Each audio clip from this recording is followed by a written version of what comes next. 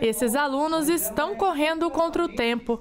É que nos dias 5 e 6 de novembro eles vão fazer o Enem, o Exame Nacional do Ensino Médio. E a concentração por aqui é indispensável.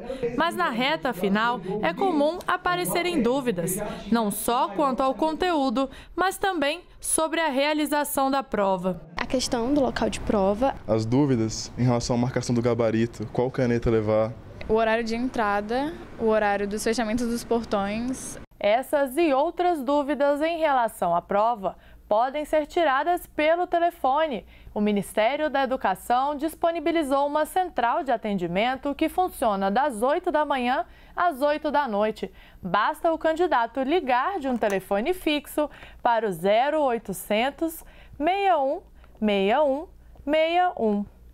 Bem-vindo à Central de Atendimento do Ministério da Educação. Esse ano, o Enem será aplicado em 1.727 municípios e no Distrito Federal.